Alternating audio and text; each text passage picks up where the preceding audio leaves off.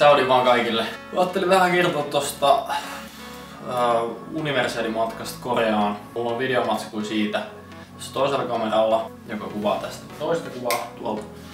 Niin tota, kai niitä läpi ja ne oli ehkä vähän hankala yhdistää järkeväksi ja yhtenäiseksi videoksi ilman minkäännäköistä selostusta tai juontoa, joten tässä mä nyt olen selittämässä. Jos tosiaan jollekin on vielä epäselvää, niin pelaan sulkapalloa.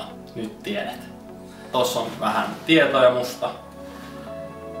Ja itse asiassa helpommin varmaan löytää ESP-sivuilta mun pelaajaprofiilista tietoja.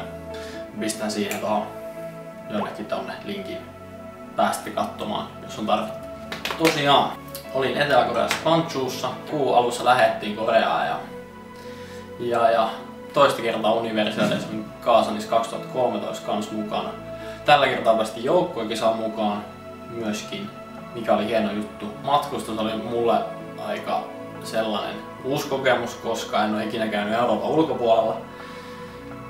Eka kertaa Aasiaan, maan osaan matkustoin, missä sulkapallo on isossa asemassa. On, oli tosi niin kuin jännittävä ja hieno, hieno fiilis. Matkustaminen kesti tosi pitkään. Vaikea, vaikea lentokoneessa tota, saada sellaista rentoa asentoa nukkumiselle. Niin, niin. Siinä oltiin melkein 24 tuntia sitten hereillä. Ihan kaiken muunkin matkustamisen härdelli, mitä siinä oli. Siinä ympärillä tultiin se kisakylä. Melkein suoraan siitä sitten, kun päästiin kisakylään, niin lähdettiin avajaisiin, jossa mä en päässyt olemaan 2013 Venäjällä. Ja tällä kertaa, kun pääsin sinne, niin se oli kyllä aivan mieletön kokemus. Ihan uskomaton. Ää, 2002 vuoden Foodies MM Areenalla päästiin kävelemään ihan täpötäydelle stadionille.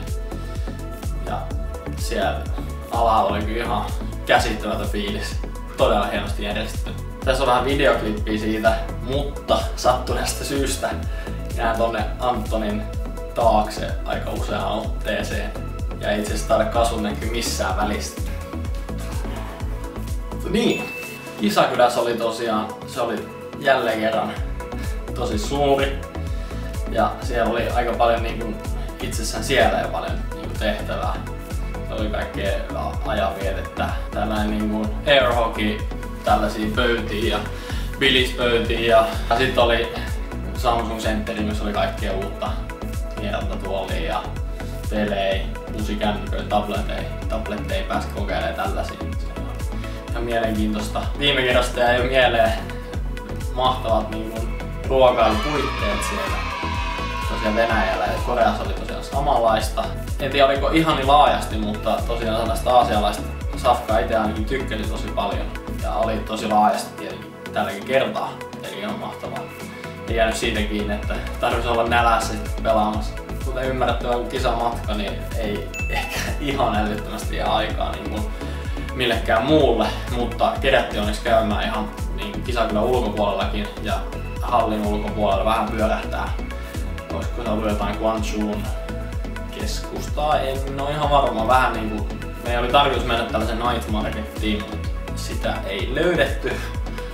Ää, vaan päädyttiin sitten ihan kiertelemään niin kuin kävelykadulla kauppoja. Sitten siinä oli jotain tällaista, olisiko jotain, olisiko Skabaan liittyen joku tällainen taidesysteemi oli pyörämissä silloin. Ää, oli niinku katutaiteilijoita, jotain esityksiä, tämän tyyppistä. Kaikkialla oli niinku tosi paljon esillä se, että siellä oli kisat meneillään. Mä luulen, että toi riittää tällä kertaa. Tiedetään toiseen osaan sitten noin itse pelit ja että miten ne meni. Jos tykkäsit tästä videosta, klikkaa tuosta alta tilan napista. Saat ilmoituksen, jos laitan uutta videoa. Siitä tuskin mitään haittaa on kenellekään. Mutta joo, ensi kertaa. Nähdään.